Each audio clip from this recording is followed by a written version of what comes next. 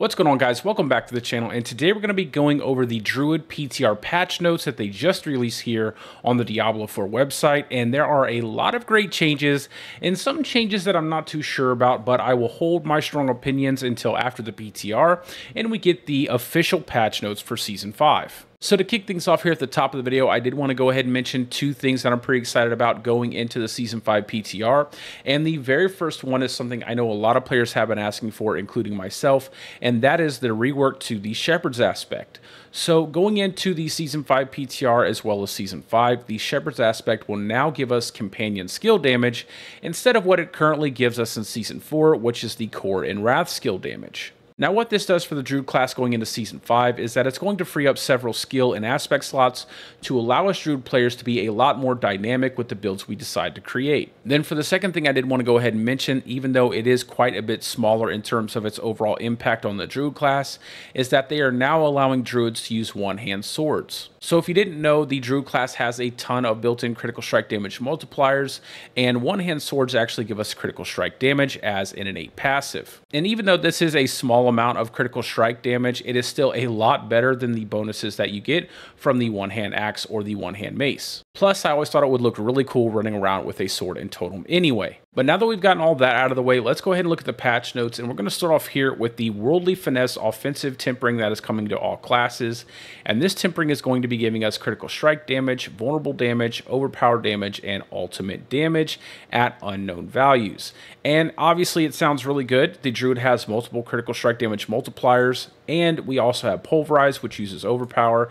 So we're definitely going to be getting some benefit out of this tempering, and I'll probably be running this on a few of my slots in Season Season 5. Moving down to the Druid unique item, we're getting a unique set of gloves called Bjornfang's Tusks. And what this reads out is that Cataclysm is now guaranteed to strike anything in range and you deal 40 to 80% multiplicative increased damage for the duration of the effect. While Cataclysm is active, you gain unlimited spirit. Now, on its face, these pair of gloves sound pretty great. This 40 to 80% multiplicative increased damage sounds incredibly good.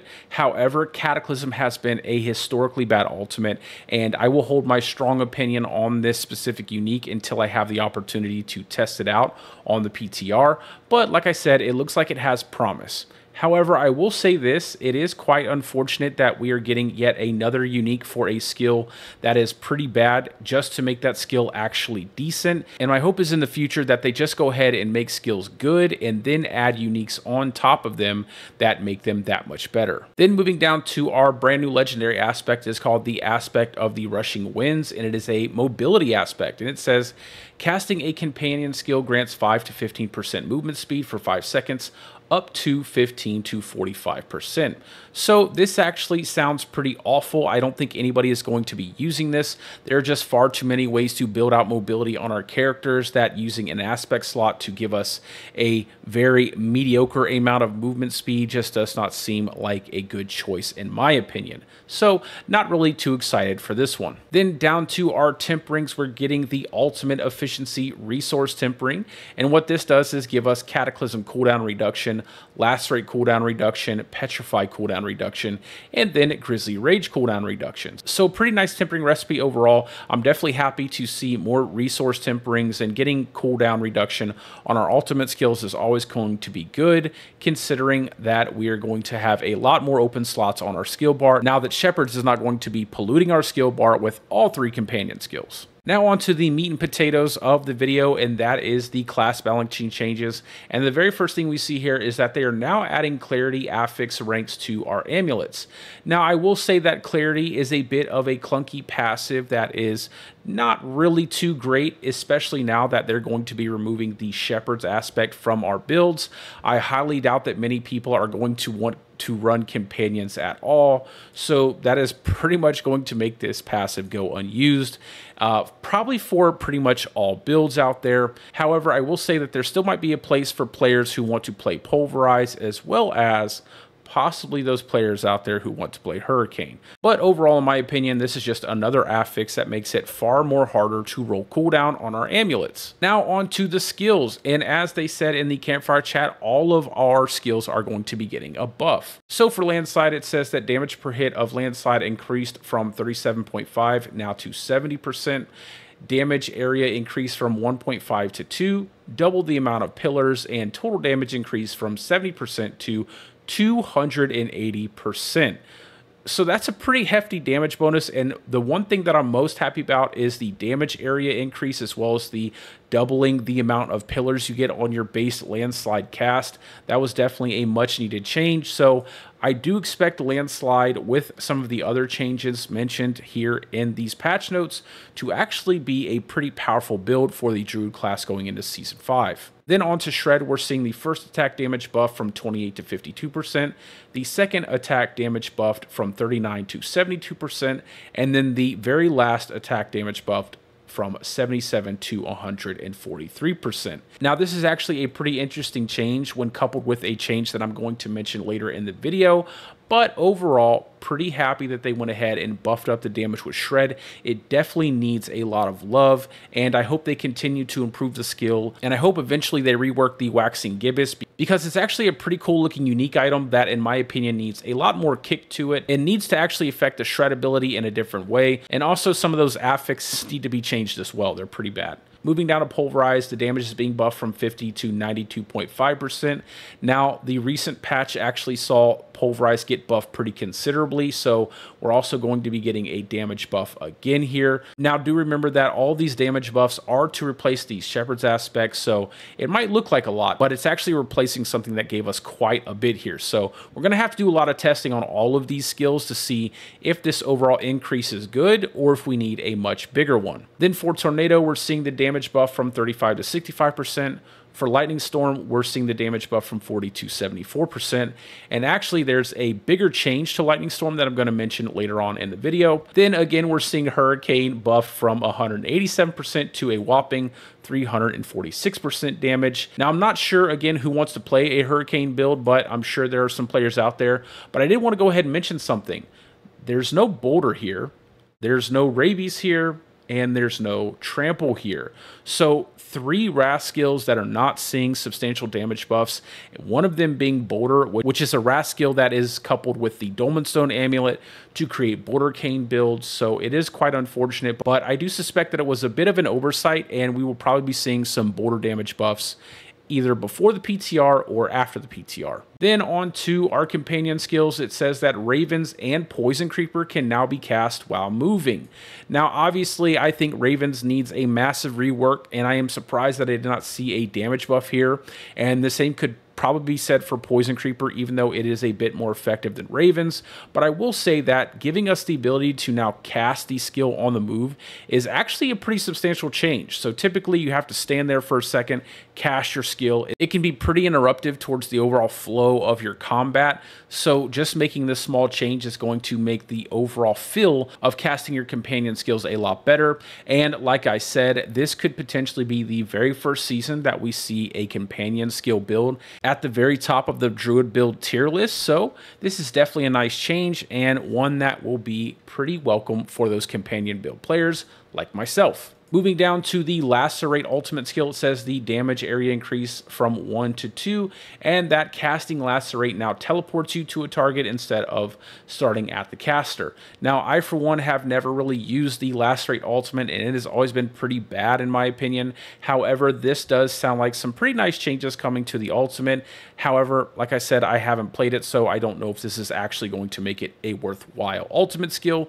that you might choose over the top of Cataclysm, Grizzly Rage, or Petrify. Then on to Cataclysm, it says the lightning strike rate is now doubled. Now, I don't think this is actually a big enough change to the ultimate skill. When you cast that ultimate skill, your tornadoes and lightning storms just go all over the place, and they rarely hit the target that you want them to even if it's the only target in the room. And again, I do think that they're adding the unique item just to make the skill useful, which in my opinion is not the way to go. You're just polluting our aspect slots with unique items that we really shouldn't have to run just to make specific skills good, which ultimately will lead us not to picking them if it does take away too much from the builds we choose to run. Now down to Grizzly Rage, and this one's actually, in my opinion, seeing a pretty big nerf overall, and that's actually quite shocking to me considering that no one really runs this ultimate skill anymore because they've nerfed it into the ground already, and the changes that I'm going to read out make it even worse in my opinion. So, it says that cooldown on this ability now starts after Grizzly Rage ends.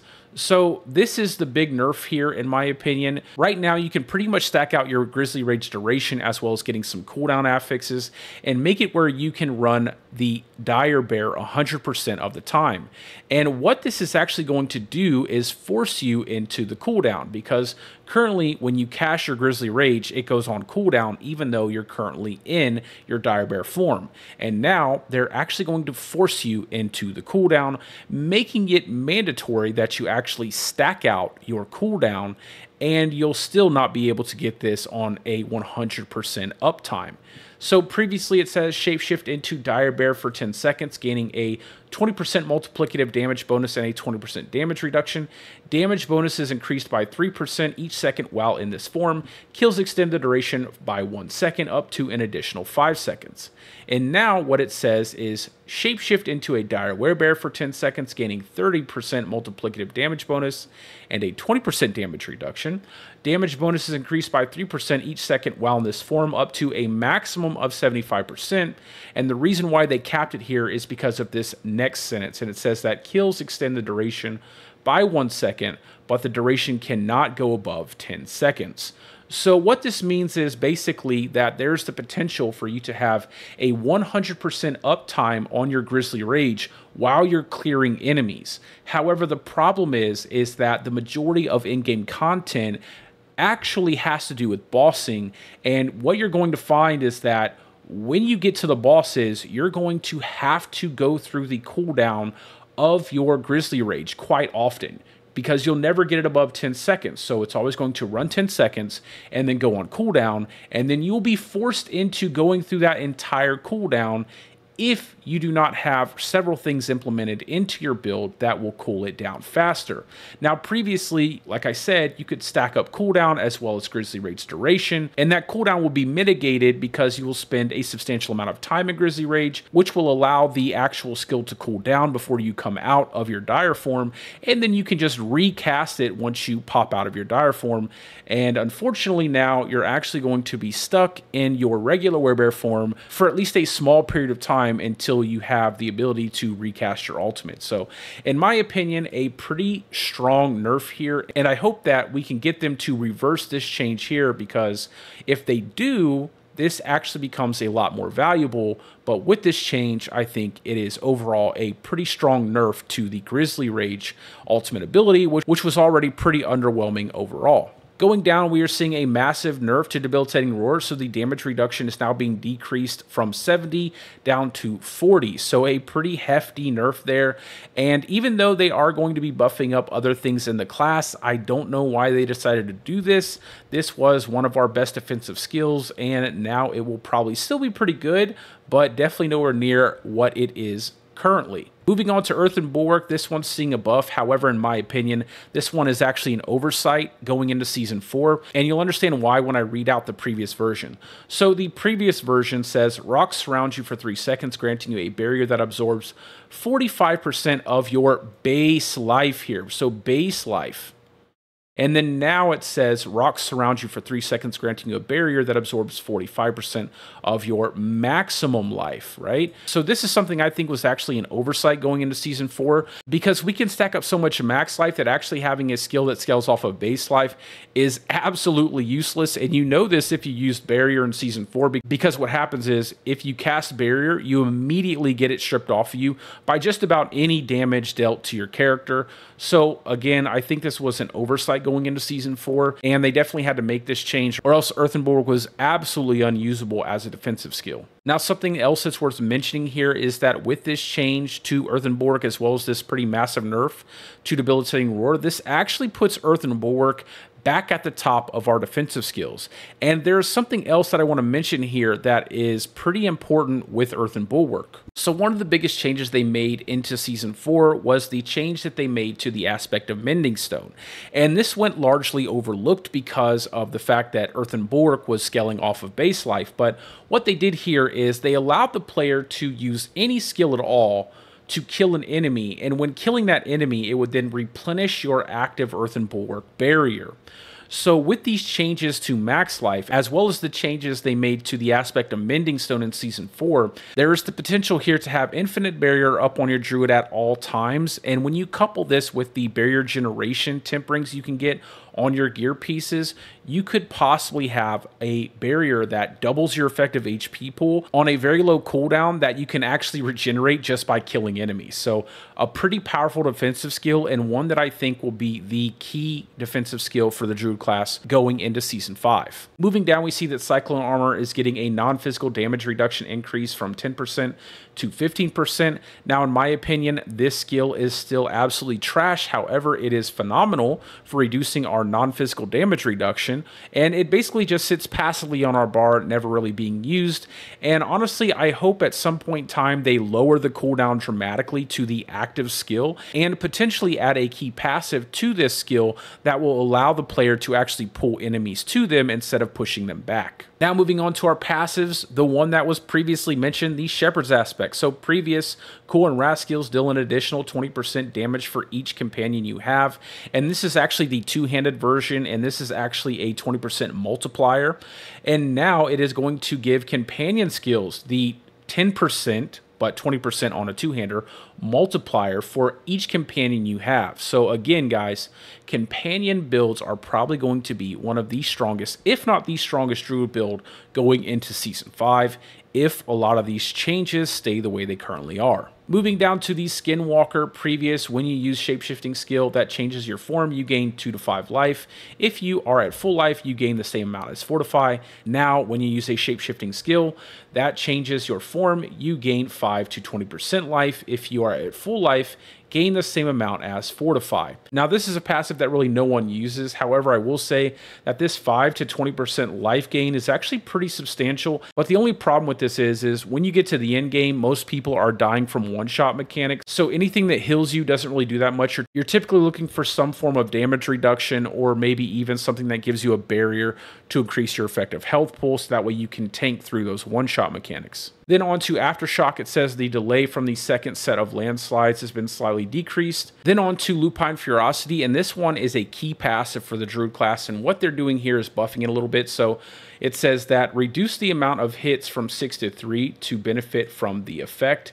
And this is actually a pretty interesting buff here, and one that might actually benefit a very specific core skill, and that is going to be Shred. So looking at Shred one more time, it says the third attack damage buff from 77 to 143%. So like I said, a pretty substantial buff for Shred, more specifically the third attack, and then Lupine Ferocity being basically cut in half to function off of every third attack of your werewolf skill means that you're going to see a pretty strong third attack when coupled with the Shred core skill. Now you're probably asking yourself, what exactly does Lupine Ferocity do? And that's because no one even uses this key passive because it's absolute trash right now, much like most of the Druid key passives. Now what Lupine Ferocity does is that every sixth, which will now be third, werewolf skill hit critically strikes and deals 70% multiplicative increased damage, and this is further increased to a 140% multiplicative increased damage against injured enemies. So if you can imagine running Lupine Ferocity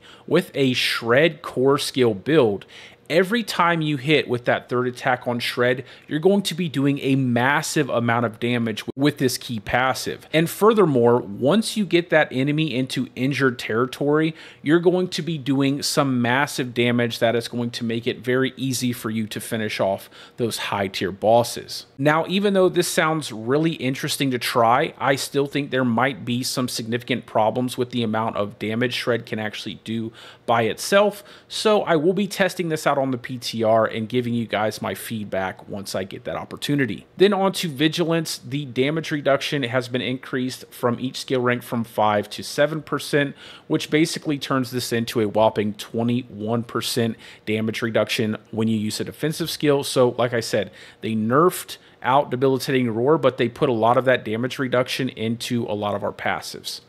Then Iron Fur is getting a damage reduction increase from 3, now 4%, so 12% at 3 points.